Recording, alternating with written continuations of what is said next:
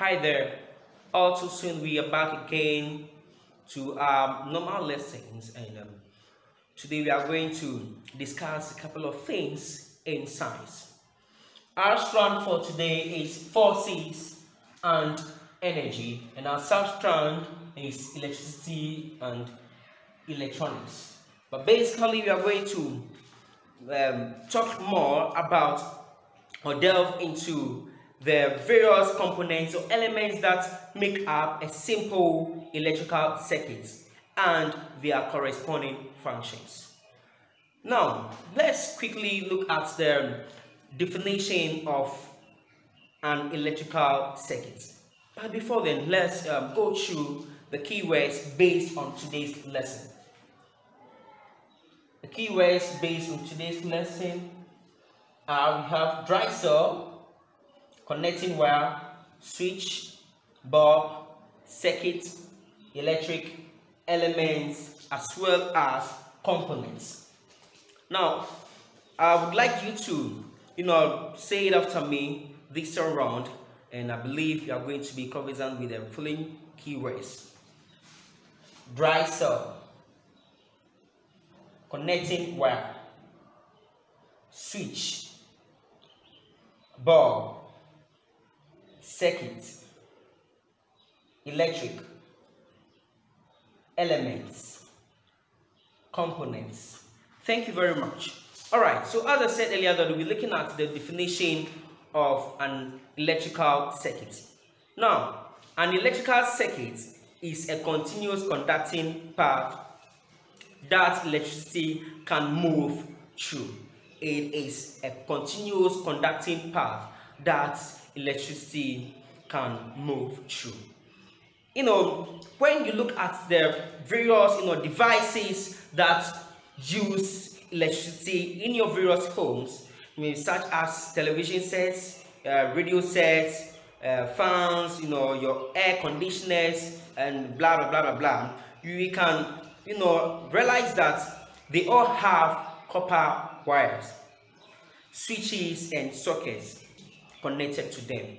All these constitute all these constitute the electrical circuits, and they provide a path for the electric current to flow through. I believe you're getting the point. So the the devices that you use in your various homes, as I, I mentioned earlier, the television sets, for example, you know, you know, is they, they use those uh, components.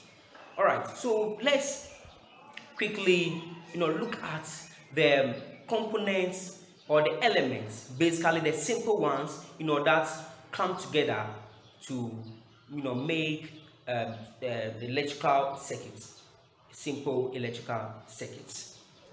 You know, have a diagram here that, you know,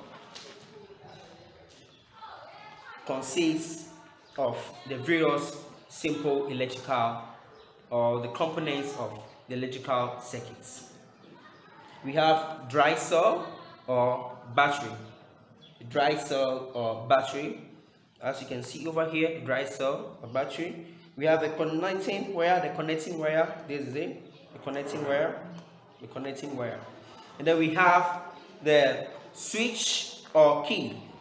The switch or key as you can see the switch or key we as well have um, uh, one component that is the bulb or the lamp bulb or lamp bulb or lamp this is a, a light emitting diode uh, that is LED LED light emitting diode okay then let's um, quickly look at the functions of each of the following components the functions of each of the following components. Now we have dry cell. A dry cell is the source of electrical energy and it drives the electricity through various components in the circuit. It drives the electricity through various components of the circuit, the other components of the circuit. And the battery is made up of two or two or more cells joined together it is made up of two or more cells joined together. Thank you very much. Now let's quickly move on to our next item or next component that is the lamp or the bulb. It contains a filament. The lamp or bulb contains a filament that converts electrical energy into light energy. It converts what? Electrical energy into what? Light energy. That is the bulb. And it can be referred to as a load. It can be referred to as a load. All right, let's move on to the next one that is the switch or the key. The switch or the key. It is a device that allows current to flow through a circuit when it is closed. It allows you know current to flow through a circuit when it is closed, when the key is closed. And it stops current to flow through the circuit when it is opened.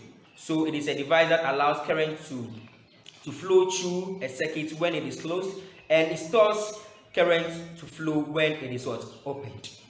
Okay so let's going to quickly demonstrate that. So as it stands now the circuit is opened. It is opened. So that is why the the bulb or the switch here is is off. Uh, sorry the bulb or the lamp is off. So we are going to close it to see if electric current will pass through it can pass through all right. Wow. As you can see. So on this note the the switch or key is closed or complete. So you can see the the led that is the light emitting diode is on. It is on. As you can see right here it is on. So it stops or it stops the electric current to flow through it when it is what?